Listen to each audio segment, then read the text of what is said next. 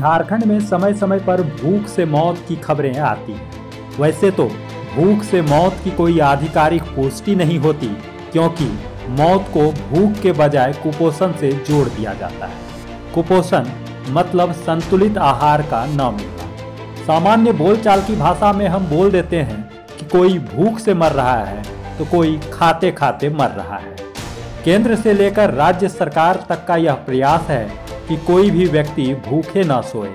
इसके लिए सार्वजनिक जन वितरण प्रणाली की व्यवस्था की गई है, जहाँ जरूरतमंदों को प्रशासन द्वारा उपलब्ध कराए गए राशन कार्ड पर उन्हें राशन दिया जाता है।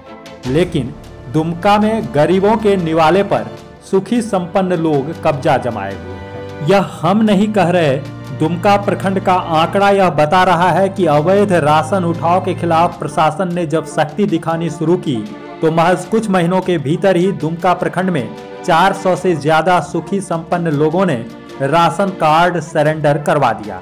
समय समय पर प्रखंड विकास पदाधिकारी राजेश कुमार सिन्हा द्वारा औचक छापेमारी की जाती है, जिसमें कई चौंकाने वाले तथ्य सामने आते हैं।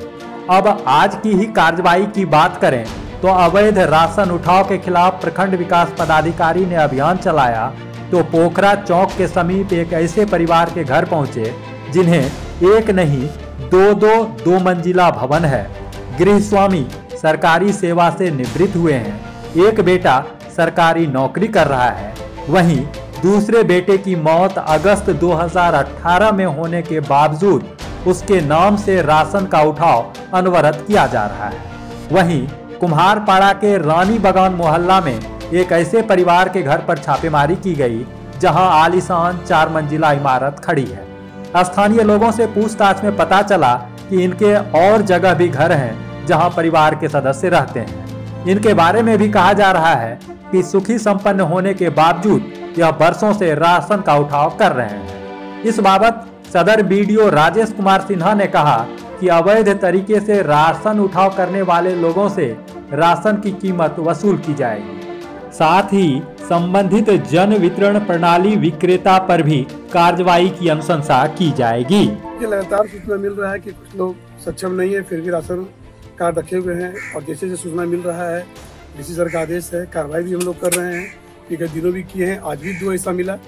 जो सक्षम परिवार है, दो मंजिला मकान है, रिटायर्ड सरकारी कर्मचारी है, बेटा की मृत्यु हो गया है चार साल पहले, बट फिर भी राशन उठा रहे हैं। एक और मकान बगल में है, उनका वो किराए पर लिए हुए हैं और फिर भी उठा रहे हैं। तो डीलर से भी डीलर को भी जानकारी है। तो आज डीलर के भी लाइसेंस हम लोग करने का अनुशंसा कर रहे हैं और साथ में जो लाभुक, जो उठा रहे थे आज उनसे भी रिकवरी करेंगे। उसके बाद एक और जानकारी मिला कुमारपाड़ा में कि वो तीन मंजिला मकान है, काफ़ी बड़ा मकान है और आठ लोग उससे कार्ड में हैं और हर महीने 40 किलो नियमित अनाज और 40 किलो जो प्रधानमंत्री फ्री अनाज मिलता है मुफ़्त, वो 80 किलो उठा रहे हैं, जबकि काफ़ी बड़ा मकान है तीन मंजिला मकान है। तो ऐसे लोग सक्षम परिवार हैं, इनको नहीं रखना चाहिए कार्ड सरेंडर करना चाहिए और बार बार हम लोग अनुरोध कर रहे हैं सभी से कि जो लोग सक्षम में सरेंडर कर दें।